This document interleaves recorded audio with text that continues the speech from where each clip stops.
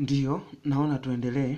Aya, ukishakuwa umezikopi pale nilipoishia, ukishakuwa umezikopi, hatua inayofuata sasa ni kwenda kwenye lile faili lililokusha kutengeneza, na likumbuka mimi nimetengeneza linaitwa field hili hapa. Utalifungua kama hivyo. Sasa ndani ya hili maana na setup nyingi. Kwa hiyo nilivyopewa, sisi tulishapewa ili faili, kwa hiyo nitatutumia ili Kwamba mtu alikuja akazipaste zile data zake alizotoa kwenye nini kwenye kile kifaa. Sasa mimi huwa natenganisha kati ya setup. Unaweza mkaona katika eneo hili hizi hizi zote setup hizi. Hii setup na hii setup. Sasa huwa na, na, na taratibu moja, kila faili linatakiwa lipate jina lake. Mimi nilivyopewa zile data nikazitengenezea jina inaitwa Michael. Sasa ukifungua hapa utakuta ulikuta maneno kama haya na taarifa chini yake hivi. Sasa katika kila hizi faili mathalani kila GPS tulivyokuwa tunahamisha tulikuwa tunaliundia kifaili kidogo kidogo. Sasa wewe utakuwa uliunda faili moja kama ulikuwa na GPS yako moja, utakuwa uliunda faili moja ambalo litakuwa ni hili nililotokea huku mwanzo ambalo ni Michael. Sasa ndani ya Michael tuashumu sio H sasa au S ambapo hapa tunaweza nilitumia Sam eh, au hapa nitumia Mfaume au jina jingine lolote lile utakalokuwa mwenyewe utakalopenda. Ili tu ujaribu kukumbuka na ujue ni, ni faili lipi unatumia mara kwa mara. Sasa tunafungua faili letu ambalo mimi nilihamishia zile taarifa zangu badala ya kuandika baada ya kuandika Michael kwa sababu device zilikuwa nyingi sana. Ziko HKMST.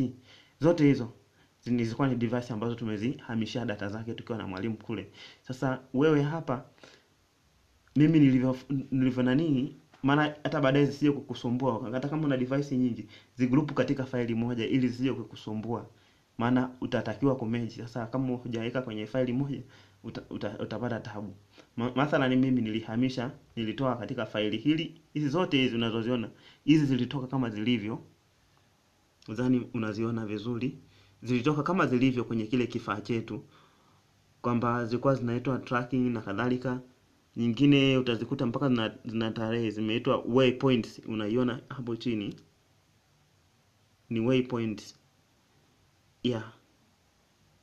Hii hapa chini. Ni waypoint yeah. Sasa hii waypoint umeiona si ndio ndizo utakuwa ulizihamisha kule. Kwa awamu ya kwanza utakuwa ulizihamisha kule. Sasa unafanya vipi na hizi faili? Kwamba zinakusaidia nini? Kwamba umezitoa mara ya kwanza kwenye GPS kifaa kile cha GPS haya hatua inayofuata sasa baada ya kwamba umezitoa na umeshajua umeshaziweka kwenye faili zipi mimi nilizihamisha. Baada ya kwamba nimezihamisha zote nimezileta huku. Huku. Hizi unazoziona point hizi ni zile ambazo ziko transformed. Lakini zile ambazo haziko transformed utaziona hizi hapa kuna bit gem. Sasa lazima uzingatie tarehe kila katika data yako unayoenda kuichukua, uzingatie tarehe kwamba ni tarehe ngapi. Hmm. Lazima uzingatie tarehe. Haya, nadhani unaziona hizi zote. Hizi ni pointi tulizozitengeneza tukiwa kule na mwalimu, lakini taarifa za kwenye GPS zilizotoka kule ni hizi ambazo hazina nini, hazina hazina hazina majina mafupi yani hazina kodi labda saba ngapi hapa unaona kuna saba. Hazina hizo hazina kodi. Hizi hapa. Hizi ndo tulitengeneza na mwalimu hizi na kuendelea huko juu. Click hapo unaziona hizi hapa zinaendelea. Sasa hizo ndo tulitengenezea tukiwa na mwalimu. Lakini target yangu au shabaha yangu ni hizi za chini ambazo tulizikusanya kule. Sasa ziko nyingi kulingana project yako unaziona hizi hapa. Hizi hapa chini zimejia lenji zenyewe. Unaziona? Kuna hiyo hizi hapo is yeah. Zani na mwanga kidogo mu ndani kwangu. Wasumbua taa zinawaka sana kwa hiyo hata PC haionekani vizuri. Ah nizi hapo kuna waypoint ya tarehe tatu Juni ya tarehe 28 Mei na za tarehe 31 ndizo ninazozungumzia hizo tunaenda kuzitumia hizo.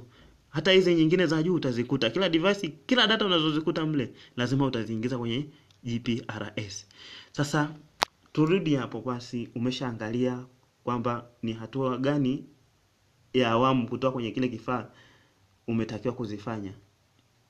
Tayari hapa nadhani tutakuwa tumeelewana kwamba umeshatoa kwenye kile kifaa. Kama haujaelewa rudia kuangalia hii video kadri uwezavyo ili mradi tu ujue inafanyika vipi Sunday.